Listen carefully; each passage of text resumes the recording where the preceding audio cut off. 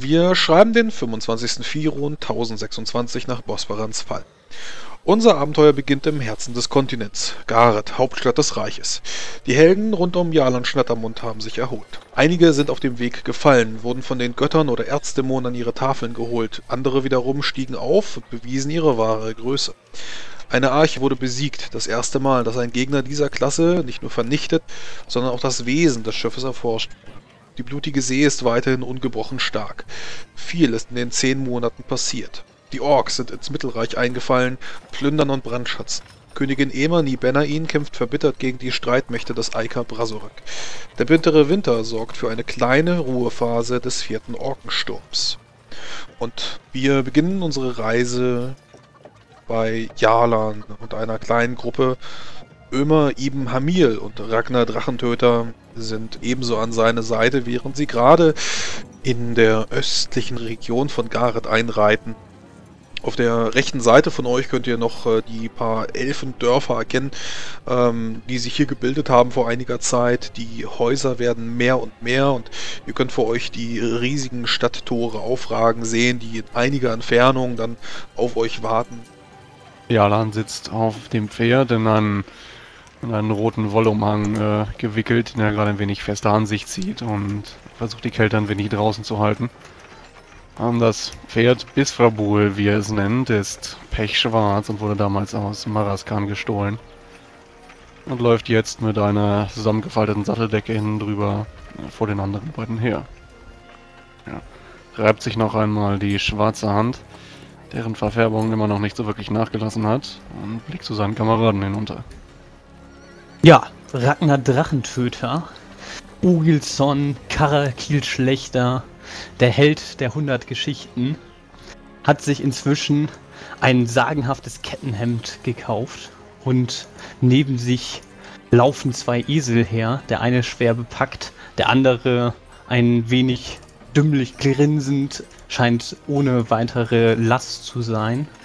In Ragnars Händen zieht er ein seltsames Konstrukt, das aus, ein wenig aussieht wie ein Boot mit zusammengeklappten Segeln, wo der Mast und der, ähm, der Holzstamm, der den Mast trägt, nee, warte, der Mast ist der Holzstamm, oder?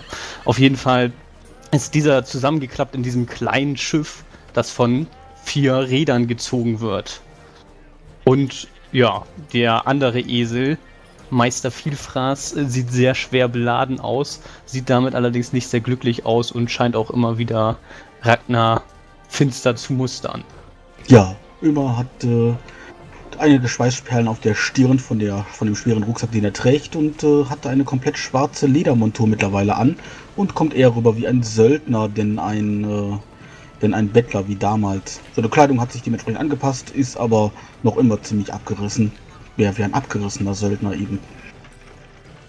Den Bogen über dem Rücken, aber die Sehne in einem Döschen verwahrt. Das heißt, der Bogen ist gar nicht kampfbereit. Ja, und während ihr auf die ja, immer größer und größer werdende Stadt zugeht, reitet, marschiert, ähm, geht ihr noch einem Kopf vor einmal die vergangene Zeit nach, was euch so ja, passiert ist in diesen zehn Monaten. Äh, hoher Herr? Ja, immer. Äh, wollen wir da jetzt rein? Äh, in, in die große Stadt Garrett? Natürlich werden wir in die Stadt einreiten. Wir werden wohl kaum vor der Mauer bleiben. Ähm, also ich werde bestimmt nicht alle meine Sachen, die ich dabei habe, verzollen. Äh, ich wollte meine Sachen auch nicht verzollen, hoher Herr. Dann müsst ihr sie wohl draußen lagern. Hm. Ragnar, du kommst doch von hier. Kannst ja, ich kenne mich ja aus wie meine Westentasche. Da hinten wohnt der alte Alrik zum Beispiel. Und, und hier, wenn wir da durchgehen und dann so. hier links, da ist dann zum Beispiel eine Taverne. Aber ehrlich gesagt, ähm, der alte Tom mag mich nicht sonderlich gerne. Nun finde heraus, wo ihr eure Sachen unterstellen könnt, wenn ihr sie nicht in die Stadt schleifen wollt. Ja, das wird kein Problem sein. Ich würde gern zur Abendmesse noch in den Pragas-Tempel kommen, also ein wenig Bewegung. Jo, dann würde Ragnar den Weg anleiten und eine der etwas größeren, immer noch relativ, ja, nicht unbedingt wirklich mit Steinen verzierten, sondern eher wahrscheinlich eher solchen Feldwegen mit seinem komischen Gefährt dort hin und her zuckeln, was wahrscheinlich, ähm, ja, die Reise mehr oder weniger ja, nicht so gut übersteht. Ragnar murmelt irgendwas davon, dass er das wahrscheinlich reparieren muss, wenn er dann da in der Taverne angekommen ist und läuft durch Meilersgrund. Und ja, würde auf dem Weg irgendwo eine Taverne suchen. Möchte Jalan folgen? Ich möchte ihm folgen, einfach nur um bei ihm zu bleiben. Äh, mich unterdessen immer mal wieder nach links und rechts durch die Häuserschluchten umblicken und darüber fluchen, dass ich schon wieder keine Ahnung habe, wo wir sind. Ja, Ragnar, Ragnar verlässt die gepflasterte Straße, äh, biegt noch lange vor dem großen Stadttor ab, äh, was dann nur noch in ja, Matschwegen mündet, die dann teilweise angeschmolzenen Schnee haben. Und äh, ja, die Häuser werden schäbiger, Bruchbuden, die dann hier äh, hochwachsen. Vor dir aufragen kannst du noch einige ja, Steine erkennen, die wohl nur noch Ruinen sind, auf denen äh, Krähen sitzen, unzählig viele Krähen, ähm, die dann teilweise auch umherflattern. Äh, ein sehr ungutes, schauriges Bild, so hier direkt vor der riesigen Stadt, was auch immer diese Ruine hier zu tun hat. Das ist aber ein schönes und teures Pferdchen, was ihr da habt, hoher Herr. Sagt man so, während es man durch Ruinen tapert. Hm, Das haben wir bis jetzt gute Dienste geleistet. Ja, ja, dann du kannst erkennen, wie wohl äh, drei, vier Kinder sich dort gerade versammeln und äh, ehe du dich versiehst, äh, sie zeigen wohl auf dich, deuten auf dich, auf dein Pferd, auf deine Rüstung und da fliegen die ersten Schneebälle an. Schneebälle. Also Ja. Ich hebe erstmal abwehrend die Hände, versuche die abzufangen. Was soll das denn? Kannst gerne versuchen, äh, eine Ausweichenprobe zu machen, aber du kannst Fernkampfwaffen äh, leider nicht abwehren, wenn du ja mit drauf und Ring wird das nicht klappen. Gut, dann äh, versuche ich einfach mal, was ist um 4 erleichtert, denn ich trage ja derzeit keine Rüstung. Das ist um 4 erschwert, weil Wurfwaffen immer erschwert sind um 4. Stimmt. Ähm, wenn es um 4 schwer ist, habe ich es dann nicht geschafft. Ja, die Schneebälle treffen dich, äh, dein gutes Wappenzeug äh, und teilweise auch dein Gesicht. Du kannst auch bemerken, dass da wohl einige Steine mit äh, reingeknetet worden sind. Ich versuche erstmal mich da ein wenig von wegzudrehen. Solche Ähm, Lausbuben verdrischt man entweder oder man gibt ihnen ein wenig Geld, damit sie woanders hingehen und sich vielleicht ein paar Süßgebäcke kaufen können. Ja, ach nein! Lass mich dann vom Pferd fallen auf der anderen Seite. Und renne auf die Mistkinder zu. Na wartet, euch pack ich! Ja, die laufen erstmal weg, äh, um drei, vier Häuserecken. Möchtest du hinterher? Ömer gibt dem Mm. Pferd einen Schlag auf den Hintern. nicht weiter als nicht weiter als eine Ecke, denn ich weiß ganz genau, dass ich mich hier nicht auskenne und dann äh, Ragnar verliere und hier nicht wieder rauskomme. Jalan, äh, dann würfel mal eine Loyalitätsprobe. Kannst du haben. Geht gegen die 19, ist geschafft. Gegen die 19. Kriegspferde kriegen plus Loyalität in der Ausbildung. Gut, hast also ausbilden lassen, das nicht selber gemacht. Ist ja, natürlich. Dann Ah. äh, tritt das Pferd jetzt aus. Ömer, mach mal eine Ausweichenprobe. Das wäre es besser, wenn die gelingt.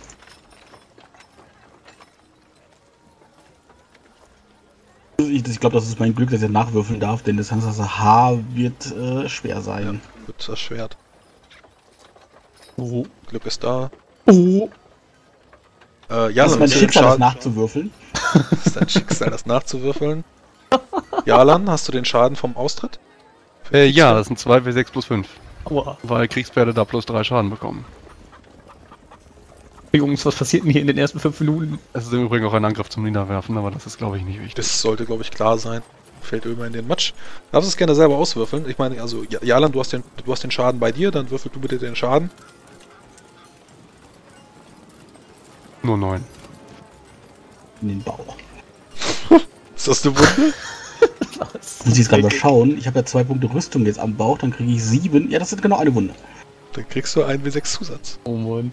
Wenn ich, wenn ich Bisfravol hinter mir wiehern höre, drehe ich mich dann noch, lasse von den Kindern ab, drehe mich hier um, betrachte mir das erstmal. Bisfravol! Verdammt Ja. noch eins! Du kannst erkennen, wie wohl gerade ähm, drei, vier abgerissene Gestalten äh, auf dich zukommen. Äh, ja, und dann die Hände ausstrecken. Sie sind äh, kalt, keine Handschuhe, die sie tragen, äh, frieren bitterlich, reiben sich äh, über ihren eigenen Körper und gehen auf dich zu. Oh Herr, oh Herr, eine milde Spende. Ihr seht, ihr seht sehr reich aus, sehr wohlhabend. Ihr seid ein guter Mann.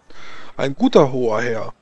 Ömer liegt auf dem Boden. Oh, oh, oh, er hat einfach ausgetreten. Ich glaube, die Steine haben ihn. Oh, oh, Ragnar geht da mal hin und Kinder mit besieht sich sieht sich Ömer, der da gerade am Boden liegt und sich verschmerzt krümmt. Äh.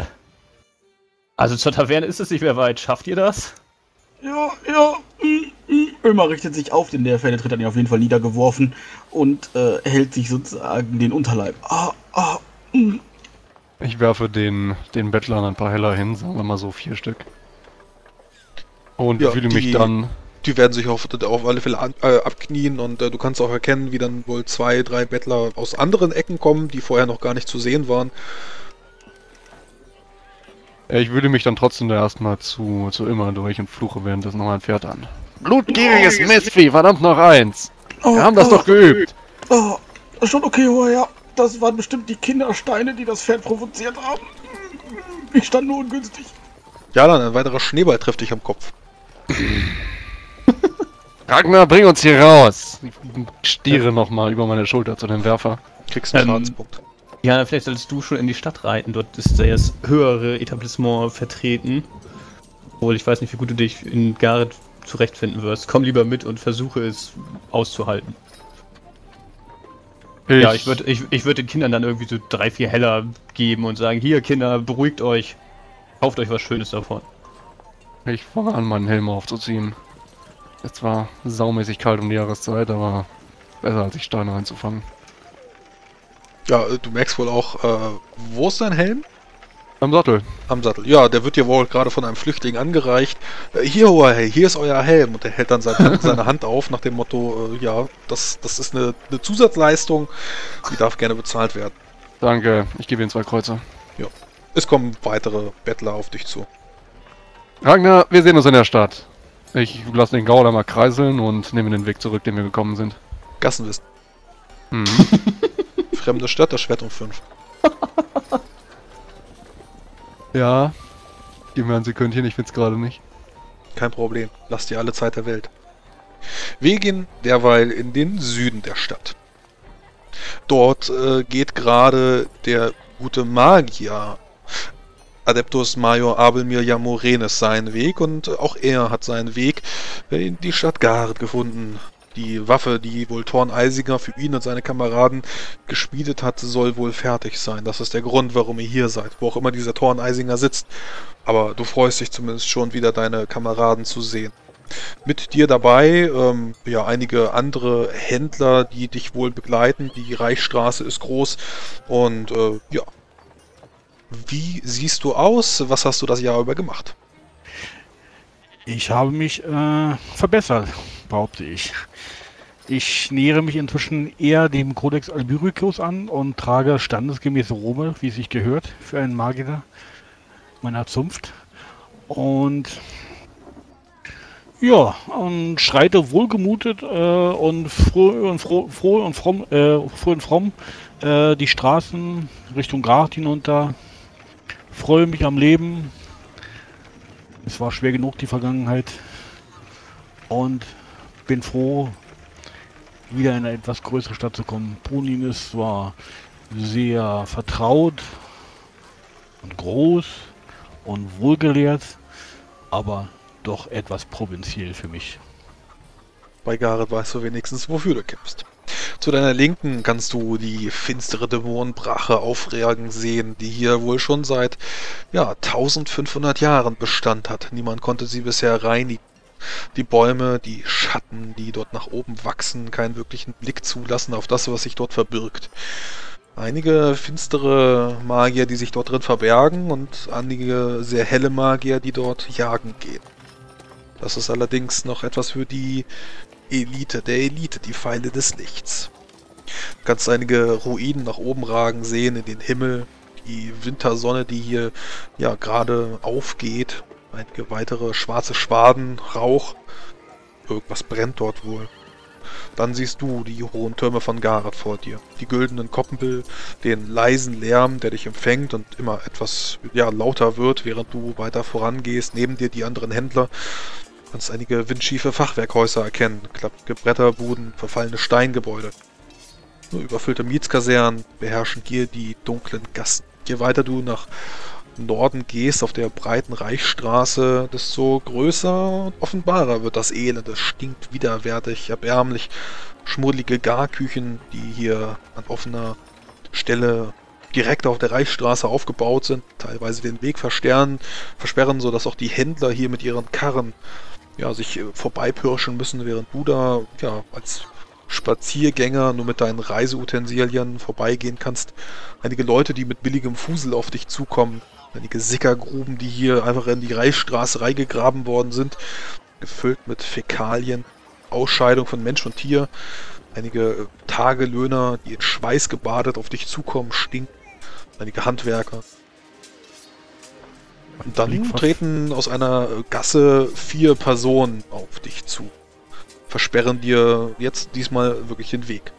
Der eine ist wohl ziemlich groß, scheint ein Trollzacker zu sein. Der andere narbenversehrt, ein blindes Auge.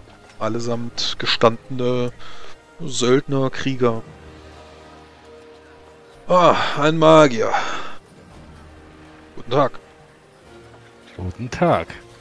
Was kann ich für euch tun? Stadtwache. Freunde. Stadtwache, ihr betretet gerade die großartige Stadt Gareth. Herzlich willkommen. Ihr Habt seht ihr- nicht aus wie Stadtgarde. Ja, aber das ist nicht dein Problem. Äh, hast du was zu verzollen? Viel, aber nichts für euch. Ja, aber wir sind die Stadtwache und wir gucken uns jetzt deinen Rucksack an. Das bezweifle ich. Ja, gut. Kannst du auch weiter tun, aber du gibst mir jetzt deinen Rucksack.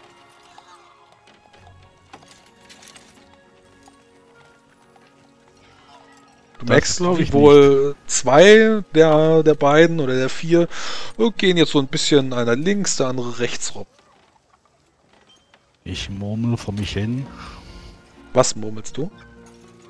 Ich murmle. Okay. Ja, äh, sie verschwinden jetzt auf der einen Seite und äh, sind jetzt beide nicht mehr in deinem Blickfeld. Du hörst aber Schritte, kommen weiter auf dich zu. Zwei sind noch vor mir, richtig? Oder einer? Zwei sind vor dir, versperren dir den Weg und die anderen beiden, einer links, einer rechts. Corpo Fesso! Corpo Fesso. Du hast gemurmelt und nicht laut ausgesprochen, da kriegst Jetzt du auf alle ich laut, Fälle... oder? Ja, aber wie gesagt, Ich muss ja bloß den letzten Teil laut aussprechen, oder? Nein, alles. alles. Alles? Okay. Ja, Sprache wichtig, kriegt eine Dreier-Schwernis von mir. Sieben, Zauberdauer. Siebener Erschwernis laut Berrywerk. Äh, Zauberdauer, äh, eine Spomo. Ähm, halbiert. halbierte Zaudauer. Und dann brauche ich noch äh, insgesamt drei Aktionen. Drei Aktionen. Mhm. Drei Aktionen Also, schenke ich dir, alles klar. Dann würfel. Ist eine Plusattacke? Oder ne, würfel mal Professor, sagst du zum Schluss. Äh, Sekunde. Müsste eine plus 6 sein insgesamt. Äh, da. Gut, keine Erschwernis eingetragen. Ja, wusste ja nicht wie viel, deswegen. Achso, Genau, weil, ja. weil du gemurmelt hast, äh, da fragte ich eben vorher nach und äh, äh, du merkst wohl, wie dir die Matrix zwischen den Händen entgleitet und dann bekommst du äh, ja irgendwas Heißes, widerliches, Schmerzendes in die Rippen. Ähm, merkst wohl auch, wie die Kraft aus deinem Körper weicht. Arg! Dreh mich so halb um nach dem Schmerz aus der Richtung, aus der der Schmerz kommt. Ja, irgendwas äh, Widerliches wird aus deiner Rippe rausgerissen und du merkst wohl, äh, ja, du kommst auf alles schon. Du hast keine Rüstung, ne? Ich habe eine ganz normale Lederrüstung unter dem. Unter dem. Äh, Sie 7 TP Nagelkeule. okay. Dann drehst du dich in die eine Richtung rum, in der du, von der du eben angegriffen wurdest. Kommt der nächste Schlag von hinten, weil du dich gerade umgedreht hast. In den Rücken. Ja, das kriegt er hin. Ist nur ein Schlagring. Sind nur 6 SP. Beziehungsweise äh, TP. Also volle TP, keine TPA, weil es ein Schlag Schlagring ist. Und die anderen kommen auch auf dich zu, sind auch nochmal 2W6. Sind auch nochmal 9. Okay. Sind jetzt Schadenspunkte oder Ausdauerpunkte? Äh, das sind Schadens, also äh, Trefferpunkte. Keine Trefferpunkte Ausdauer, sondern Trefferpunkte. Kannst du deine Rüstung von abziehen? Okay. Äh, müsst ihr nicht wissen, wo, wo sie hinschlagen. In dem Fall. Äh, das ist einmal 6 und einmal 3. Hast du eine 6er Wunschwelle? Achso, wegen, wegen Äh. deiner Rüstung meinst du? Ja, genau. Dann gebe ich dir 1, 2, 3. Oh Gott, das dauert ein bisschen, ein bisschen länger dauern, auszurechnen. Kopf. Das ist aber egal, weil es nur eine 19 ist. Also vorher waren es 6, 9 und was war noch hier Schaden? Äh, 6, 3 und 6. Okay. Also es waren zwei Angriffe, die dann kamen. Okay, also Bein hat gar nichts irgendwie. Äh, nö, da war kein Rückschuss. 6, 3 und 6 sind äh, 12, richtig? Da Punkte. Ja, und während Torgosch, Sohn des Xolmasch, gerade auf der Straße in Richtung Norden ist, äh, neben dir dein äh, guter Freund Igna, Sohn des Arthur Grosch, ähm, ja, ein bisschen euch unterhalten, habt ein paar Händler neben euch gelassen, äh, grummelnd, brummelnd, die Menschenstädte sind alle überirdisch gebaut, warum hast du nicht genau verstanden? Ähm, ja, kannst du erkennen, wie wohl ja, vor dir gerade eine weiß gewandete Gestalt mit einem Zaubererhut auf dem Kopf äh, ja wohl übel angegriffen wird. Torgosch, Sohn des Zollmasch, ist seines Zeichens stolzer Krieger der Schule des Drachenkampfs zu Zorlosch. Er trägt ein, ist relativ schwer gerüstet.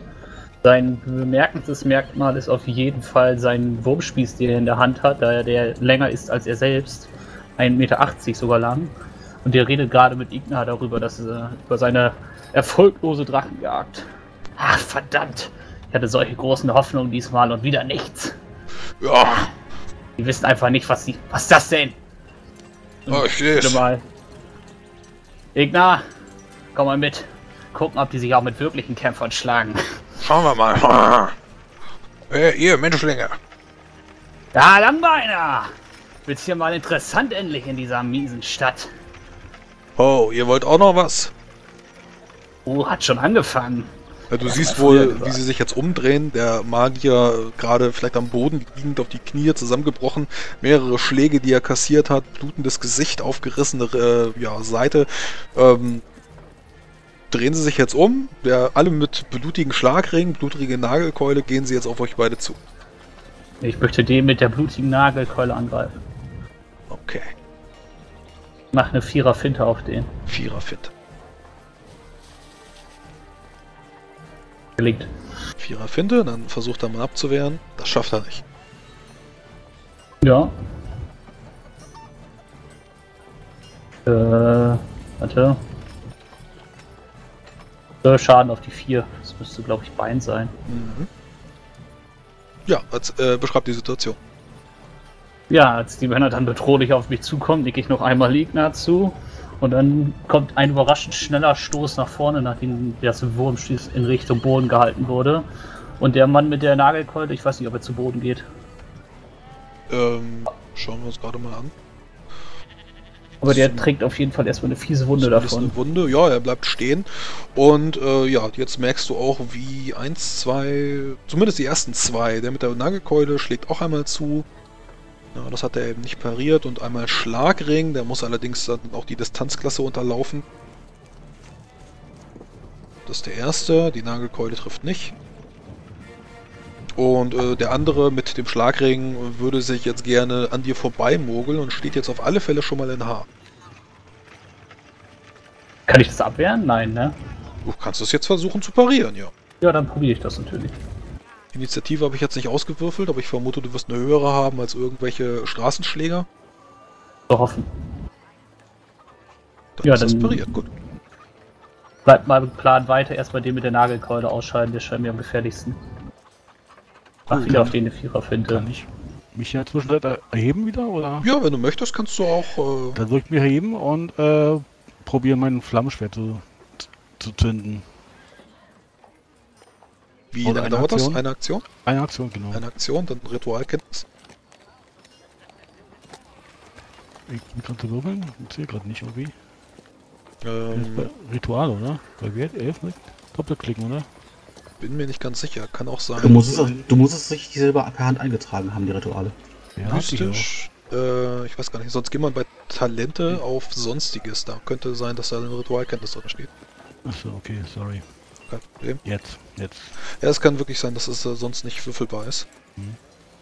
Ist das das Schwert oder ist es durchgegangen? Nö, nicht normal. Aber zwei ist nicht viel. Gut, dann brennt jetzt dein Schwert. Torgosch, Ja. hast du Nachteile? Äh, gegen Magier meinst du? Ja. Äh, ich bin kein Feld von Magiern, aber ich habe jetzt weder Angst vor Magiern noch sonst irgendwas. Okay, hätte ja sein können, dass du irgendwelche äh, Nachteile gegen Magie oder sowas hast. Gut, dann ähm, könnt ihr jetzt auf alle Fälle versuchen, mal den, den Schlägern Anhalt zu gebieten. Äh, du hattest gerade eben die Parade gewürfelt, nächste Kampfrunde, das Schwert von Abel mir brennt. Das hattest du in der ersten Aktion meinetwegen gemacht, da habe ich ja gesagt, du liegst am Boden. Regeltechnisch war das zumindest nicht so, dementsprechend kannst du dich da auch oben haben. Äh, ja, nächste Kampfrunde, du wirst angegriffen. Ich mache einfach mal Dorgosch 2 und Abel mir 2. Gut, ich. Alle treffen. So, ich greife einmal an und pariere einmal. Ich greife auch einmal an und pariere einmal. Gut, Parade gedungen. Schon Bewegung? Misslungen. Ja, meine Parade. Achso, das war die Parade, auch die ist misslungen und dann Säbel ist auch misslungen. Dann kriege ich jetzt vier durch. Beziehungsweise die, die Parade, die können wir den ersten streichen. Dann sind das 2 plus 3 sind einmal 5 für Torgosch, kannst du Rüstung abziehen, einmal 3 TP und einmal 4 TP für Abel. Wo kriege ich die denn?